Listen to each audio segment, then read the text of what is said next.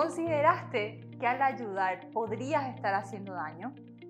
Soy Analía Figueredo del Ministerio de Desarrollo Social y Misiones Actívate de la Iglesia Más que Vencedores y te quiero compartir algunos tips que nos pueden ayudar a diferenciar los tipos de ayuda. Lo primero importante es considerar que no hay soluciones simples para problemas complejos.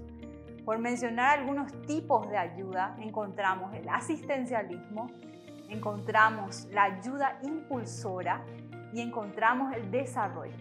¿Cuál de esas es mejor? La que según el caso no genere dependencia, dignifique al que recibe esa ayuda, no esclavice y refleje un amor desinteresado sin condiciones. Todas esas formas de ayuda son necesarias para un momento en particular.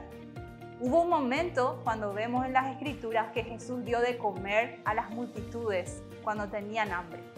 En otra oportunidad vemos al profeta Eliseo que bendijo a la viuda que tuvo en su vasija aceite y harina para cada día por más de tres años.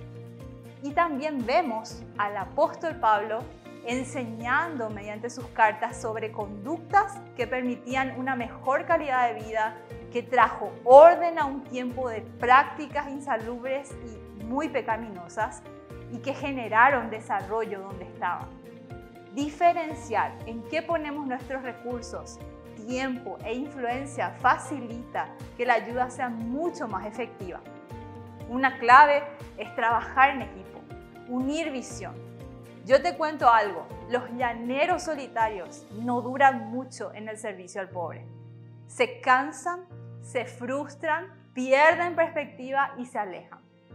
Por eso la Biblia nos insta a no cansarnos de hacer el bien, porque a su tiempo vamos a cosechar las consecuencias de esa dádiva.